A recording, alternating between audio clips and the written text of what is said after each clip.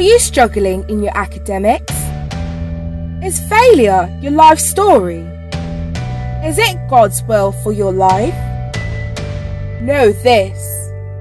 Success can be taught. Failure is a choice. And that anyone that is struggling is struggling for nothing.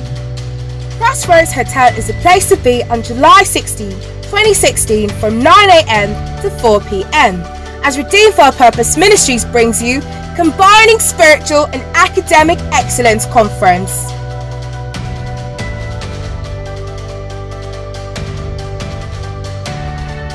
At the centre of it all is Pastor Aubrey Mwasinga, Bachelor's of Accountancy degree and MBA with distinctions and ACCA Chartered Accountant will present you with the keys to perpetual success in your academic and spiritual life.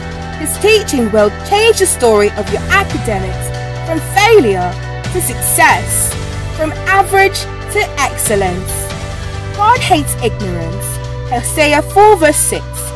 Come and learn the principles for success in life with Pastor Aubrey Mwasinga. Remember, success is not a mystery.